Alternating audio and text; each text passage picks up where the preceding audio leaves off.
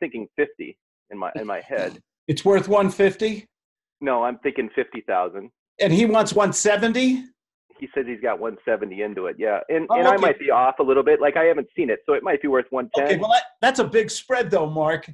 Huge, right? It's a huge spread. So when you get somebody who has unrealistic expectations, how many people here have met this crazy person? I have.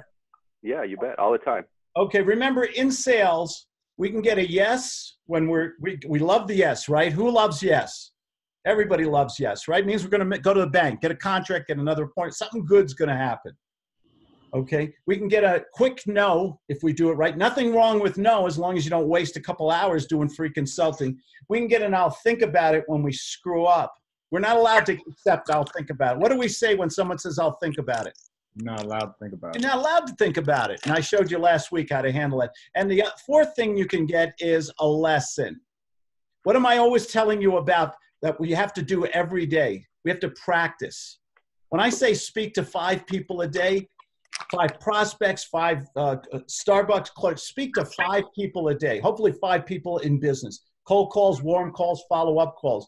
Sometimes you're not going to, you know, Mark, in your heart of hearts, you're not going to sell that person today, right? Not today. So have some fun with it. This there is, some motivation there. I asked him why is he selling? Why now? What's what's the urgency? He said, "Well, I'm on a fixed income. I'm retired. I'm getting squeezed. I can't afford it anymore." Oh, okay. But- You know, you know what, Mr. Hoffman? If, if it's 170, my comps here say it's 50, uh, but you need 170. Why don't you make it 200 or 250 then? Why, why not ask for a million?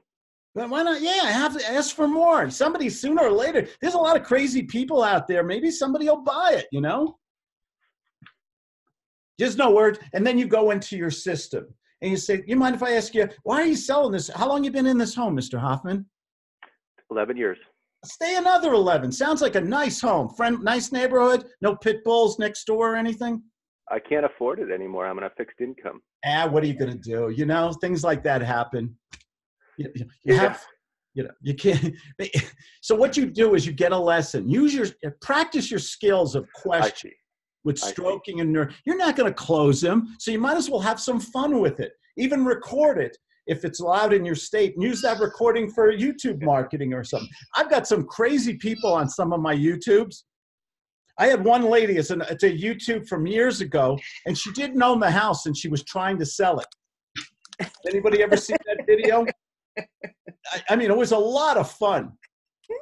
It was. A, I knew right away it was a scam or something. Anybody here? What did I? I got a phone call uh, this week from uh, somebody trying to re- raise money for the uh, police uh, fraternal order of police.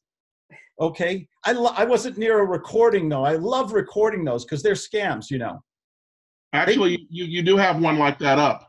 I've won. I've. I have one. I love that where I get on the guy one and I say, "Well, what's your you know tax ID or your nonprofit identification number?" And he he wouldn't he couldn't answer that. You hear those little. Sometimes when you hear silence, when somebody can't answer a question and there's that little where you hear the crickets, what does that kind of tell you? What's even worse is he told you he had to go back into his script. Yes. it's a if you can find that one, put it in the Skype uh, later today, uh, uh, Sean. So I'll let Okay. everybody listen to that. When when somebody when you hear silence, sometimes that means they're either thinking they're going back in the memory chips in their brain to think of either a, an answer or a lie. Okay. Most people, when they're telling the truth, are they spontaneous? No. Yeah. Yeah. Yeah. When you're telling the truth, it comes right out, don't, right? Someone says, "What's your birthday?" Oh, you know, December this. What you know? Well, the truth is always easy to find. The truth is always easy to find. So when they hesitate to answer a question right away, what should be going on? What what what resonates in your brain? What do you say? What are you saying to yourself? Here comes the bullshit. Yeah. Mhm. Yeah. Go ahead, Bailey. Bailey, was that an exercise or a hand up? I was saying it's like an alarm bell going off in my head. It's like BS, BS, BS. Yeah. Yeah. They're either thinking of a lie or honestly, maybe they don't remember. You know, something I like that. You're you're listening to the patterns, their patterns to get and what we're always trying to do with a prospect is get them emotionally involved, get them talking and get to the truth.